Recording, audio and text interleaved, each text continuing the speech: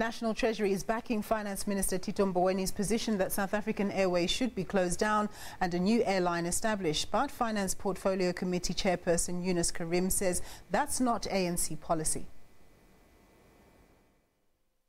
The Joint Finance Committees are busy deliberating on the 2018 revised fiscal framework. Part of the discussions is the drain of state-owned enterprises on the fiscus going forward.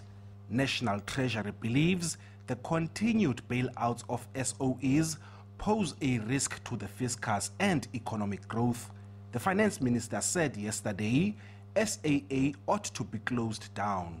I think certainly as Treasury we think there are no holy cows. We agree strongly with the minister and these questions have to be posed because ultimately the budget is about trade-offs and the hard choices have to be made that if we want higher growth, we're going to have to cut down on recurrent expenditure.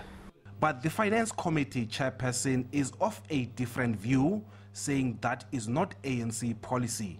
Our position is guided by the ANC position. We're accountable to the political party we come from.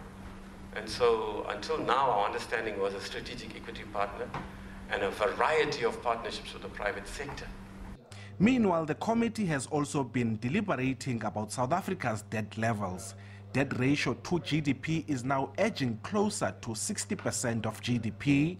Treasury says the target for debt should be 40% of GDP, adding that debt would not be rapidly scaled down, that it affects service delivery. The view that in broad terms, if you reach 60%, it's going to be very hard to come back. Uh, if you're going to go beyond 60, it's going to be very hard to bring down debt after that and that you should probably have a buffer of around 20 percentage points of GDP in, in case you have another global financial crisis. I think that makes a lot of sense. So I, I wouldn't say we're in a debt trap yet.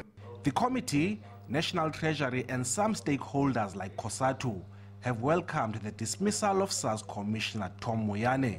They agree that the institution was systematically destroyed and a new SARS Commissioner should be appointed without delay. Ulelani Philip, SABC News, Parliament. Well, let's take a quick look at the